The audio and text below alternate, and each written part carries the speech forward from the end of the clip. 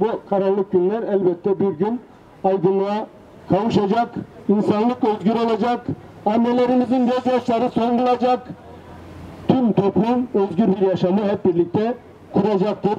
Onun için ben burada tekrardan hepinizi Ezilenlerin Sosyalist Partisi adına selamlıyorum. Hoş geldiniz diyorum.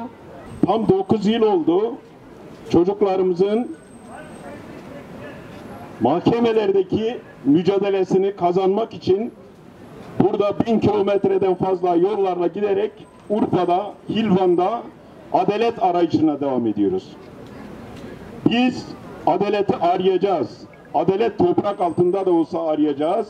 Gökte de olsa arayacağız. Yerde de olsa arayacağız. Adalet aramaktan başka şansımız yok dostlar. Çünkü biz göz göre göre katledildik.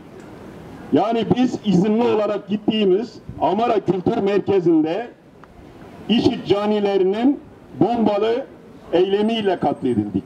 O tüyüşlerimizin suçu neydi? Barışı, demokrasiyi, insan haklarını aramak. Ya bu herkesin görevi değil mi yani?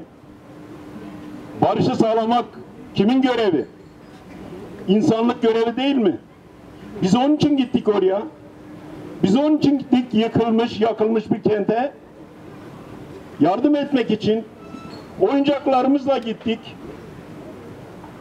Çocuklarımızın düşlerini yerine getireceğiz değerli arkadaşlar. Çocuklarımızın yarım bıraktıkları düşleri yerine getireceğiz. Adalet mücadelesinden, barış mücadelesinden hiçbir zaman vazgeçmeyeceğiz. Ayrıca de adalet mücadelesini birleştirmek zorundayız. Gerek Ankara, gerek Diyarbakır, gerek Suruç, bütün katliamlarda ortaklaşma var. Kasti bir saldırı var. Ve bu saldırıya karşı mücadele etme göreviyle karşı karşıyayız. Bu saldırıda birlikte hareket etmek zorundayız. Gerçek adalet bize verilecek bir şey değil. Biz gerçek adaleti onları unutturmama, bu katliamları unutturmama süreciyle de pekiştireceğiz. Adalet noktasında hepimizin bugün bunu teşhir ediyor olması bile bizim için adalet e, adalete gitmede bir adım daha bizi ilerletecektir diye düşünüyorum. Bu yüzden 9. yılında da unutmak yok, affetmek yok, vazgeçmek yok.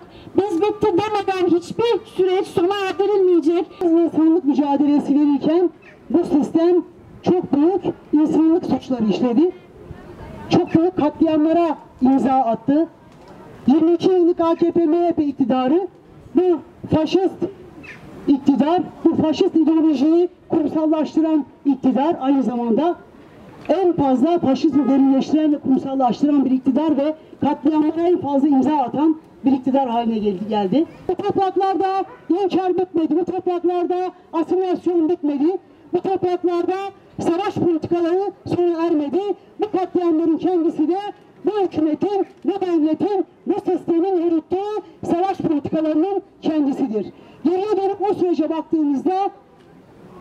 12 Mart katliamının yaşandığı süreçte yine Ahmet sürecinde Büyük Emek Barış Demokrasi Mitikleri düzenleniyordu ve bu topraklarda Kürt sorununun adil ve eşit bir şekilde çözülmesi için bir çözüm süreci tartışılıyordu. Sayın Öcalan o dönem bir çözüm sürecini başlatmıştı. Bu patlamalarla, bu katliamlarla beraber sistem savaş politikalarını sürdüreceğinin ilanını yapmış oldu ve çözüm sürecini de baltaladı.